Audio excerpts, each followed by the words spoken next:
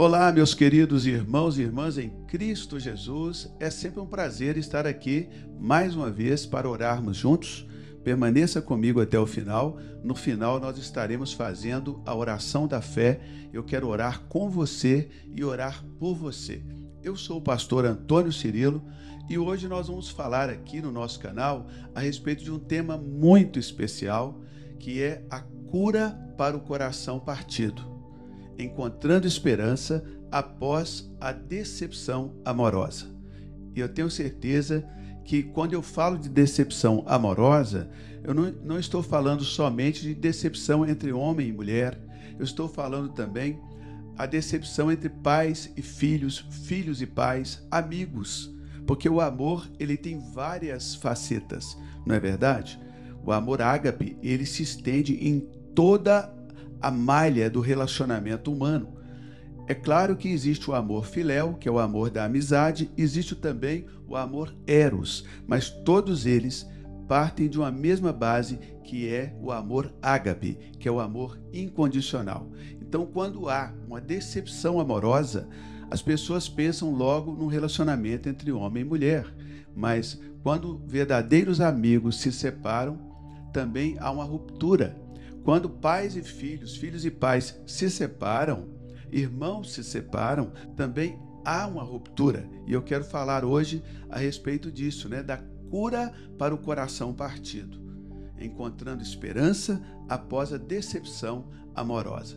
Nós sabemos, queridos, que a dor de uma decepção amorosa, ela pode ser muito profunda, mas eu quero compartilhar com vocês como que a fé ela pode ser o caminho para a cura e para a renovação. Não se esqueça, é claro, de se inscrever aqui no canal. A sua inscrição é muito importante para nós.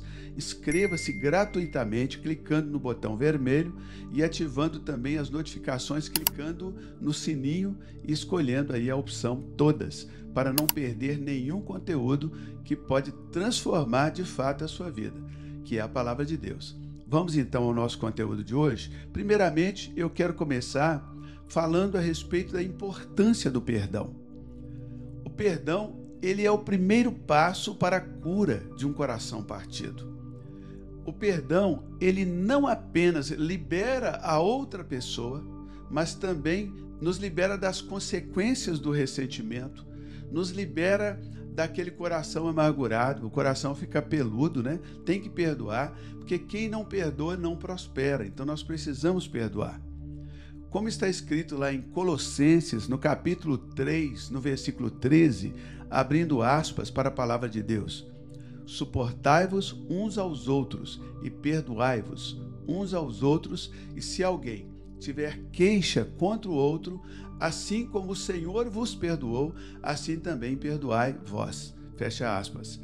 E também lá em Efésios, no capítulo 4, versículo 31 e 32 está escrito, abre aspas, toda amargura e ira e cólera e gritaria e blasfêmia seja retirada dentre vós, como toda malícia, e sede bondosos uns para com os outros, compassivos, perdoando-vos uns aos outros, como também Deus vos perdoou em Cristo. Fecha aspas. Então lembre-se, meu querido irmão, minha querida irmã, perdoar é libertar um prisioneiro e descobrir que o prisioneiro era você. O verdadeiro prisioneiro da falta de perdão somos nós. Então escreve para mim aí nos comentários essa frase que está muito linda. Perdoar é libertar um prisioneiro e descobrir que esse prisioneiro sou eu. Escreve para mim aí nos comentários, participe escrevendo. Perdoar é libertar um prisioneiro e descobrir que o prisioneiro era eu. E enquanto você escreve nos comentários, não se esqueça, nós teremos neste ano no Corpus Christi, a nossa conferência presencial, Conferência Poderoso Deus, e o link para a inscrição já está aqui na descrição do vídeo do YouTube. Então, faça a sua inscrição e venha participar conosco da Conferência Poderoso Deus, que será poderosa, será maravilhosa. Conto com a sua participação ali na nossa conferência. Teremos a Nívia Soares, David Quinlan, teremos também o apóstolo Valdir Reis, Kleber de Jesus, o, o pastor Hernani Santos estará conosco, pastor Osiel Matos, eu estarei lá. Será uma festa para Deus. O perdão, queridos, então, é a chave que desbloqueia as portas da nossa própria prisão emocional. Quando nós perdoamos, não apenas liberamos a pessoa que nos causou a dor, a pessoa que nos causou o mal, a pessoa que nos causou a tristeza, a pessoa que muitas vezes abusou dos nossos sentimentos. Mas quando nós perdoamos, nós também nos libertamos das correntes de amargura que nos prendem ao passado. Lembre-se da palavra de Deus em Colossenses 3,13. Abre aspas. Suportai-vos uns aos outros e perdoai-vos uns aos outros. E se alguém tiver queixa contra o outro, assim como o Senhor vos perdoou, assim também perdoai vós. Fecha aspas. Então, amados, o ato de perdoar é um ato de liberdade. Escreve para mim aí nos comentários. O ato de perdoar é um ato de liberdade. Liberdade para o outro e liberdade principalmente para você que está perdoando. Perdoar, meus amados irmãos e irmãs, é abrir as asas da nossa alma e voar para o alto, voar em direção à liberdade que Deus nos oferece. Voar para um lugar acima dos problemas, acima das palavras, acima dos acontecimentos passados. Perdoar é voar acima das nuvens, mesmo que você esteja sofrendo, mesmo que você esteja com o coração abafado ainda, ferido ainda. O perdão é o primeiro passo para a cura do seu coração, para a cura da sua alma. Dói, dói, irmãos.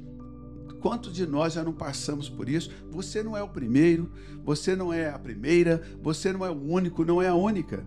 Essa também não será a última vez que você vai passar por uma decepção. Então você precisa entender essa ferramenta, essas ferramentas, para que quando acontecer de novo, não é se, quando acontecer de novo em outra área, porque nessa área aí você já está esperto, né? Já está esperta, mas quando acontecer de novo, você não fique refém desse sentimento. Então, meus queridos irmãos e irmãs, repetindo, perdoar é abrir as asas da nossa alma e voar para o alto. Voe para o alto. Não fique nos lugares baixos, não fique caído, se levante em nome do Senhor Jesus Cristo. Levanta que a sua alma agora ela se levante, que você tenha bom ânimo. Não vamos conseguir vencer sem uma alma boa. Então você não pode deixar que uma outra pessoa estrague a sua alma. Né? Não pode deixar que uma situação estrague a sua alma, senão você não vai ser vitorioso. Tem que se levantar. Se levante agora. Eu ministro cura para o seu coração, em nome de Jesus Cristo. Então, perdoe, abra suas asas, voe para o alto, voe para cima das situações, seja como a águia neste dia, em nome de Jesus Cristo. Não se esqueça, daqui a pouco nós vamos estar orando juntos, vamos fazer aqui a oração da fé. Eu quero orar por você, amém? Decepções do passado que às vezes você até mesmo já sepultou, mas não perdoou. Essas decepções sepultadas e não perdoadas, elas estão atrapalhando o desenvolvimento da sua vida, em todas as áreas: vida espiritual, vida emocional e vida financeira. Tem muita gente que poderia ser milionária. Não é milionária porque a alma dela é medíocre. A alma dela é pobre porque o pecado, porque a, a ferida, todas essas coisas nos mantêm numa pobreza, numa miséria. O evangelho, ele veio arrancar a pobreza de dentro do pobre. Muitas vezes nós queremos pregar um evangelho de tirar o pobre da pobreza, e é bom é bom, mas o pobre acaba voltando para a pobreza. Mas quando o evangelho ele tira a pobreza de dentro do pobre, aí a alma do pobre é próspera. Quando eu falo pobre, não é de dinheiro, tem pessoas que são pobres, principalmente pobres de espírito. E Jesus disse: Eu vim evangelizar aos pobres. E eu te pergunto por quê? Por que, que o evangelho deve ser pregado aos pobres? Porque a pobreza é ruim e o evangelho é bom. A pobreza não presta, o evangelho presta. Então eu não quero a pobreza, eu não quero a pobreza espiritual, eu não quero a pobreza emocional, nem tampouco a pobreza material. O problema é que quando a gente fala de pobreza, todo mundo só pensa no material. Mas o lado material, a área material, é um reflexo da nossa alma. 3 João, versículo 2: Amado, faço votos da tua prosperidade e saúde, assim como é próspera a tua alma. Tem pessoas que até têm dinheiro, têm condição financeira, mas não têm prosperidade em suas almas. A maneira que elas agem não, não, não, não transborda para outra pessoa. É uma maneira egoísta, e isso é sim que traz as feridas, que traz as mágoas, que quebra os relacionamentos, né? que traz as decepções amorosas em todas as áreas, desde o amor ágape, o amor filéu, que é uma grande amizade, e também o eros, que é reservado ali entre um homem e uma mulher. O segundo ponto, além de perdoar, é aprender a confiar em Deus. Em momentos de dor, em momentos de decepção, a nossa fé ela é testada, mas ela é testada para ser fortalecida. Deus nos conhece profundamente e Deus quer nos restaurar. Lá no Salmo 147, versículo 3 está escrito, nós encontramos a seguinte palavra: abre aspas. Ele sara os que têm o coração quebrantado e liga-lhes a ferida. Fecha aspas. Também lá em Jeremias 29, 11 está escrito: Deus nos lembra ali nesse texto de Jeremias o seguinte, abre aspas, porque eu bem sei os pensamentos que penso de vós, diz o Senhor. São pensamentos de paz e não de mal, para vos dar o fim que esperais. Fecha aspas. Então, meu irmão, minha irmã, creia, creia, creia na palavra de Deus, porque em meio à tempestade, em meio à decepção, em meio à dor de relacionamentos quebrados, Deus ele é o nosso refúgio seguro. Ele cuida de nós. Escreve para mim aí nos comentários. Em meio à tempestade, Deus é meu refúgio seguro. Escreve para mim, senta o dedinho aí. Amém? Escreve. Em meio à tempestade, Deus é o meu refúgio seguro. Enquanto você escreve, você que ainda não se inscreveu no canal, está escrevendo e tem que se inscrever aqui no nosso canal Inscreva-se gratuitamente clicando no botão vermelho. A inscrição é gratuita, o conteúdo é gratuito, tá bom? Inscreva-se e dá o joinha aí também, curte o vídeo, comenta o vídeo, coloque nos comentários o que, que mais está te tocando aqui, né, nesse conteúdo, e em seguida nós vamos fazer juntos a oração da fé. Então permaneça comigo até o final. Em meio à tempestade, Deus é o nosso refúgio seguro. Queridos, nós precisamos realmente aprender a confiar em Deus, sabe por quê? Porque no meio da dor, no meio da decepção amorosa, principalmente a decepção amorosa, isso pode nos fazer questionar muitas coisas, inclusive questionar a nossa fé. No entanto, é justamente nesses momentos que devemos voltar ainda mais o nosso coração para Deus, confiando que Ele, o nosso Deus, Ele tem um plano maior para nós. Deus tem um plano maior para você do que isso aí, querido. Se fosse de Deus, seria de Deus. Se acabou é porque não era. Então, ó, acabou, coloca um bálsamo na ferida, perdoa, deixa a ferida secar da maneira correta. Amém? Não coloque uma pedra, não diga, isso aí é um assunto resolvido sem resolver. Não tente, meu irmão, dar uma barrigada na vida, porque no futuro essa mesma vida vai dar uma barrigada em você. Você tem que aprender a resolver as suas pendências, sejam elas espirituais, emocionais, relacionamento, físicas, tá certo? Porque tudo que você não resolve vai voltar para você no futuro para te pedir contas outra vez. Então é melhor resolver. E escreve de novo aí para mim nos comentários uma frase linda também. Olha só: na tempestade, a fé é o farol que nos guia de volta à segurança. Na tempestade, a fé é o farol que nos guia de volta à segurança. Enquanto você vai escrevendo, eu já vou aqui para o terceiro tópico para nós fazermos juntos a oração da fé. Terceiro tópico é o seguinte: reconstruindo a autoestima com Deus. A decepção amorosa, ela pode abalar a nossa autoestima, sabia? A decepção amorosa pode abalar a nossa autoestima, mas Deus, ele nos vê como somos. Ele nos vê como preciosos e como amados. Você pode ter sido rejeitado por uma pessoa que você amava e que julgava que te amava de volta. Talvez essa pessoa mentiu, essa pessoa ela ela estava ali na verdade era atuando, né? Estava representando um papel e no final quando você descobre você ficou ferido, né? ficou ferida. Talvez o interesse dessa pessoa eram outros interesses, você era apenas um meio para que essa pessoa alcançasse seus interesses, e à medida, talvez até que ela julgou que não alcançaria tais interesses, ela então chutou o balde e você ficou ali na beira do caminho. Mas eu quero te pedir: se levante. Se levante em nome de Jesus Cristo. A Bíblia diz lá em Gênesis capítulo 1, 27, criou Deus, pois o homem, a sua imagem, a imagem de Deus o criou homem e mulher os criou. Nós somos a imagem e semelhança de Deus. Não existe autoestima melhor do que essa. Qualquer coisa menos do que isso é menos do que isso. Não considere, não deixa que nada menos do que isso venha atrapalhar a sua vida, porque esse fator está acima de todas as coisas. Você é imagem e semelhança de Deus, e isso te basta. E esse Deus, ele nunca te decepcionou, nunca te decepcionará. Lá em 1 Pedro, capítulo 2, versículo 9, diz assim: Mas sois geração eleita, sacerdócio real, sois nação santa, povo adquirido, para que anuncieis as virtudes daquele que vos chamou das trevas para a sua maravilhosa luz, fecha aspas. Então, a verdadeira beleza, ela vem de um coração restaurado por Deus, não por um coração aceito pelo coleguinha ou pela coleguinha. Não, queridos. Você não pode ficar à mercê de alguém.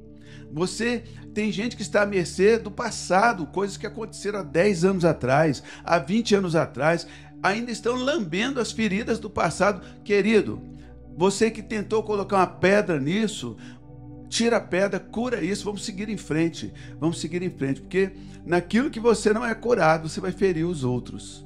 Tem muita gente que está ferindo as pessoas porque não são curados e não aceita cura, não aceita cuidado, não aceita paternidade, não aceita cuidado, não aceita carinho, confunde tudo, entendeu? Mas você tem um Deus poderoso, o Espírito Santo está sobre ti nesse momento. Nós vamos fazer essa oração em nome de Jesus Cristo. A decepção amorosa, ela pode nos fazer sentir menos valiosos, mas Deus, ele nos vê de forma diferente. Ele nos criou a sua imagem e semelhança. Ele nos criou com amor e nos criou com propósito. Reconhecer o nosso valor aos olhos de Deus é essencial, queridos, para a reconstrução da nossa autoestima. Nós somos preciosos para Deus e nosso verdadeiro valor está como Deus nos vê e não como as outras pessoas nos veem. E relações humanas são assim mesmo. É, muitas relações são relações de descobertas.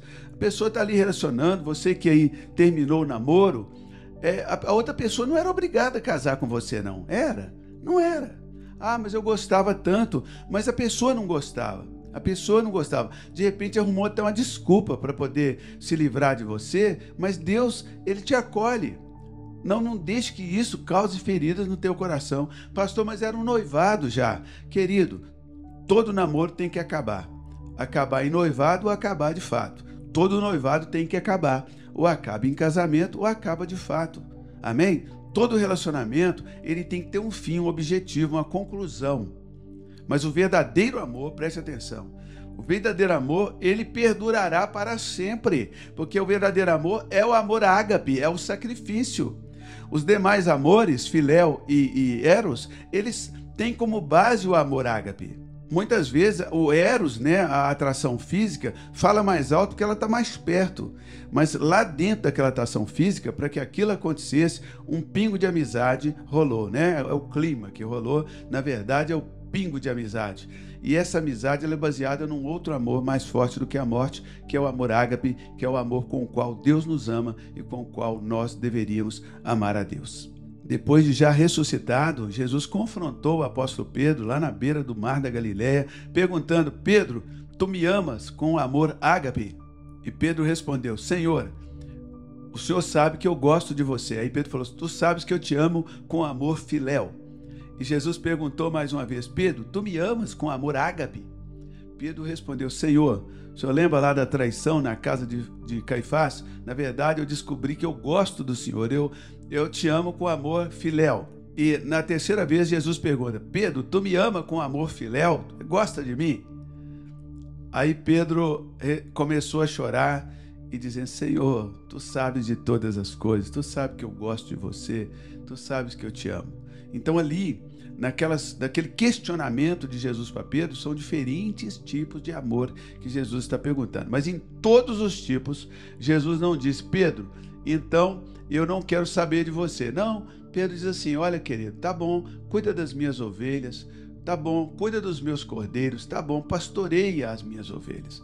Jesus não nos rejeita, querido. Jesus não nos deixa, né, por nada dessa vida. Ele é tão amoroso, tão precioso. O Senhor é maravilhoso. Bendito seja o nome do Senhor.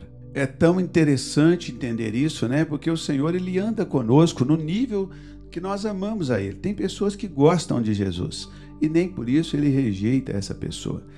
interessante que essa experiência do apóstolo Pedro levou ele mesmo a compreender que o amor dele por Jesus não era tão perfeito como ele imaginava. Ele, ele não tinha um amor incondicional por Jesus, ele gostava de Jesus. Por três vezes Jesus pergunta: Tu me, me ama, né? Com amor ágape, né? Vou até, eu estou até aqui com o meu dicionário grego, Strong, aberto, ó. Agapau, né? Tu, tu me amas, né? Tu me amas com amor ágape. E Pedro responde: é, Tu sabe que eu, filéu, tu sabes que eu gosto de você. Você já sabe, se eu viu eu te negando lá na casa de Caifás, eu, eu gosto, não te amo, eu, eu gosto de você, né? Então, assim, Jesus pergunta de novo: Você me ama com amor ágape? Ele fala: Não, eu gosto, o Senhor sabe de todas as coisas. Tu sabes que eu gosto. Está perguntando por quê? Por que, que Jesus estava perguntando a Pedro? Porque Jesus queria que Pedro descobrisse, que Pedro admitisse, não ficasse negando. Já tinha negado três vezes na casa de Caifás, agora estava negando de novo. Você me ama? Tu sabes que eu te amo. Sabe que eu gosto. Você me ama com amor incondicional? Não, tu sabes que eu gosto de você. Você já sabe, mas não é você já sabe. Jesus queria ouvir da boca de Pedro. Então, na última, na terceira vez, quando Jesus pergunta: Então tá, eu vou te perguntar, você gosta de mim? Pedro começa a chorar e dizendo: Tu sabe de todas as coisas, tu sabe que eu gosto de você, que eu te aprecio, eu curto você, eu gosto de você. Então ele disse: Apacenta as minhas ovelhas. Tudo bem, Pedro, tudo bem, cara, tá tudo bem. Então, meus amados irmãos e irmãs, em Cristo Jesus, embora a decepção amorosa ela possa parecer uma tempestade sem fim, lembre-se de que Deus está conosco. Deus está conosco em cada passo deste caminho. Com fé, com perdão, com confiança em Sua poderosa palavra, nós podemos encontrar a cura, encontrar a esperança que tanto buscamos.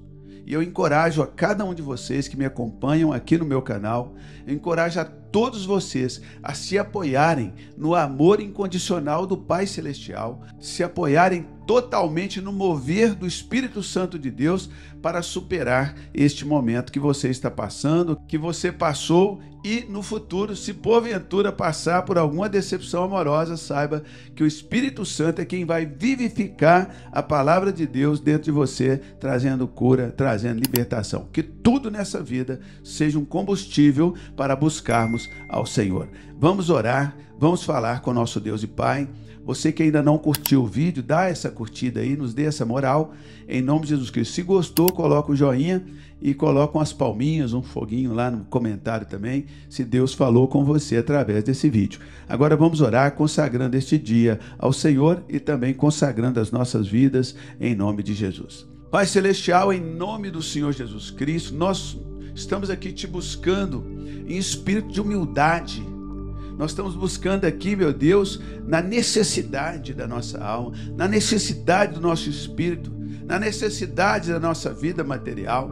Nós estamos te pedindo, Pai, a tua cura, pedindo o teu conforto para todos aqueles que sofrem com a dor de um coração partido, meu Deus. Filhos com os pais, filhas com os pais, filhos com suas mães, filhos com os seus pais, em nome de Jesus Cristo, mães com as suas filhas. Pai Santo, reata essa família, converte o coração dos pais aos filhos e dos filhos aos pais. Senhor, eu oro pela decepção amorosa no nível da alma. Essa pessoa, meu Deus, que se apaixonou, a outra pessoa nem sabia que ela estava apaixonada, e de repente, ó Deus, fez ali algo que trouxe dor, que trouxe, ó Deus, uma amargura de alma, arranca com a tua mão agora, Senhor, em nome de Jesus Cristo, essa dor.